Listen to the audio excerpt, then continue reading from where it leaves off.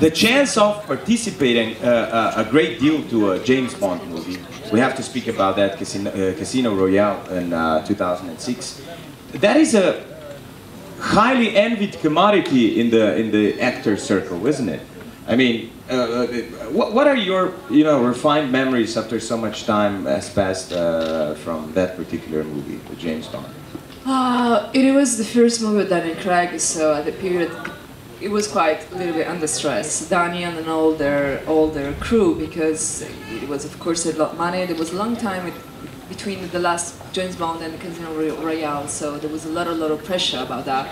And uh, your colleagues around the world were not very nice with Daniel, so we was keeping saying that you know he would never make a good Bond, a blonde guy, he was unable to drive, unable to dive, unable to do anything. Of course, it was all bullshit.